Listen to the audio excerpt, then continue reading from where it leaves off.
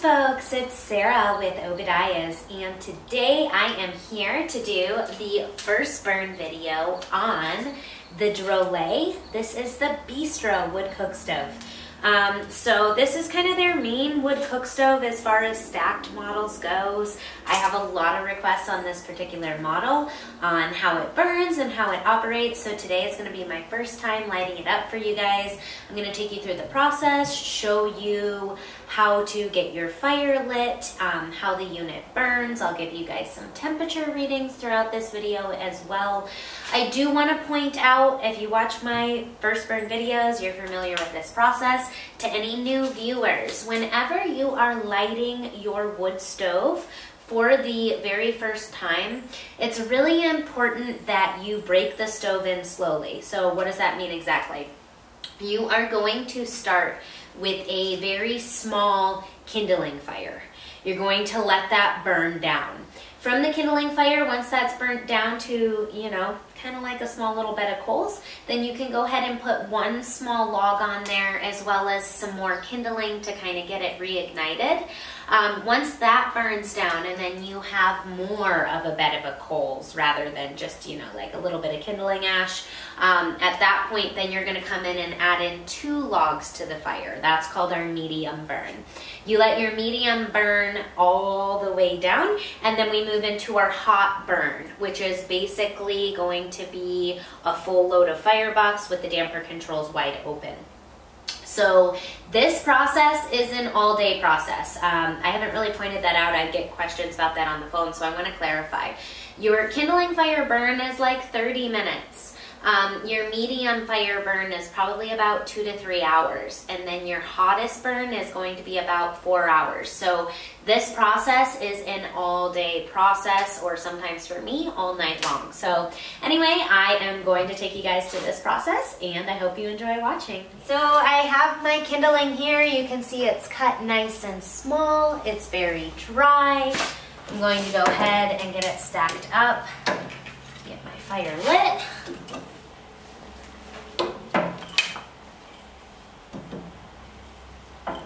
So I always stack my wood like a teepee style, which makes it very easy to get everything started. My handy dandy blowtorch. Make sure that my damper control is wide open. Open is going to be all the way So blowtorches are really nice I have people concerned about it being dangerous. Uh, well, don't stick a blowtorch in your stove and walk away. Yes, obviously that's dangerous. If you are standing here with your blowtorch lighting your fire, it is not dangerous. This is not going to blow up. Um, super quick to get your fire started. It doesn't require like you to purchase any kind of fire starter. You don't even need use paper to make this happen. So yeah, Super easy and highly recommend. And just like that, we have our fire going. No paper, really quick, about a minute or so. Maybe two. And yeah, that lit very easy. I'm impressed. Um, good draft, good airflow. It's actually pretty cold today too. A little bit of condensation on the glass. That's because, like I said, it's cold today. Um, this is the first burn in this stove, so the outside air temperature around the stove is cold because I have the door open. Um, also, the chimney pipe is cold as well, so I would say that this is really nice. Sometimes stoves can be a little more difficult to light, so that's something I mentioned in one of the other videos, but having the damper control here on the bottom where it brings in that combustion air from below makes it much easier to get the fire lit. So as you can see, it was very easy, quick to get the Bistro model lit up. For the first time, um, I'm gonna let it burn in. From there, I will take us into some temperature readings after about a half an hour or so. This is about five minutes in to my burn. You can see that the glass is burning so clean. At first initial takeoff, we had a slight bit of condensation, um, but with the warmth of the flame and the nice dry wood in the box, it dried out right away and it's burning very nicely. Well, I am about, I'm gonna say probably like 20, 30 minutes um, into my burn and I'm gonna give you guys some initial temperature readings top part of the stove is 134. Bottom firebox area is 80. Back of the cooktop is about 220. Front is 250. About, yeah, about 220 to 260 temperature range on the top. This is just from our initial kindling fire. So um, front door measurement on the glass is reading 480 degrees. And I'm going to actually head into our medium burn right now. So I am going to get, I have a pretty good bed of coals. So I think I'm gonna put just one log in right now. This is a fairly large log. This is gonna take us into our medium burn. So I have a really full box of kindling, which is why I have such a good um, bed of coals right now. My firewood is like ee, a little bit long here, so mindful of that. I have been burning the stove for about like two hours now. I added in my one log and my coals at the bottom kind of burnt down. So I put a few pieces of kindling in there uh, just to lift it up. You can tell though, even, even with it just being a single log, like the glass is still burning nice and clean. So even kind of at a lower smolder stage where it wasn't getting good airflow, it still has a really nice air wash, which means the glass burns super clean. So I appreciate that. I'm going to give you guys some temperature readings right now so you know where we're at. Top of the stove is about 100 and about 175 at the top of the stove. Bottom of the side panels pulling about 82 the firebox door here, we're pulling a temperature of about 295 degrees. Top of the stove here is still ranging. We're still in about that same range of about 210 on the low end, all the way up to about 250 degrees. 252 degrees is the maximum. Um, so again, we've got just one simple log in here. As the stove is curing and as the paint is curing, the stove can produce a smell. So um, when I do it, I burn with the, the door open so that I can get a good airflow. You never want to be cooking or baking during your first burn because those smells can go into your food. Um, so keep that in mind. I always burn the stove at least one time before I do any type of cooking or baking. Um, and we gradually just kind of heat the stove up to temperature. So now that we've been burning at this stage, um, this medium hour, one log. Um, I lifted it up to put another piece of kindling in there, but I'm actually gonna slide one more small log in there to keep it going before I load into my full maximum burn. The stove definitely burns nice and clean. Very minimal smoke. Looks great. So I am about five hours into my burn already.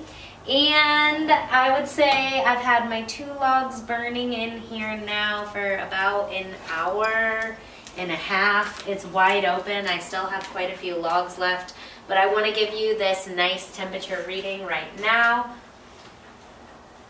Ooh, top of the stove is about 389 degrees.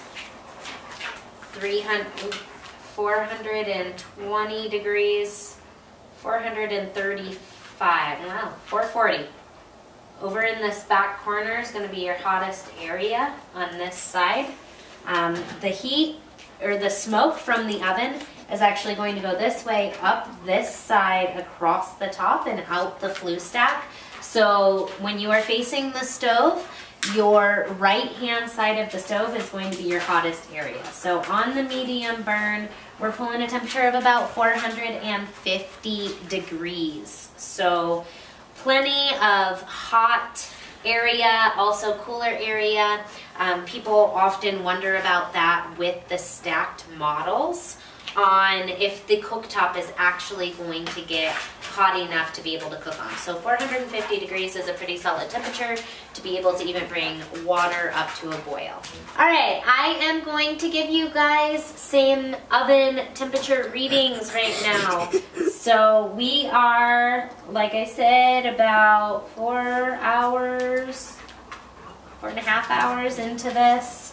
Um, I'm in a medium burn, so I'm not like at the maximum temperature of four hours. So I just want to clarify that, that um, when you do your first burn, you just bring up the stove slowly. So we're not going to be at the maximum oven temperature right now.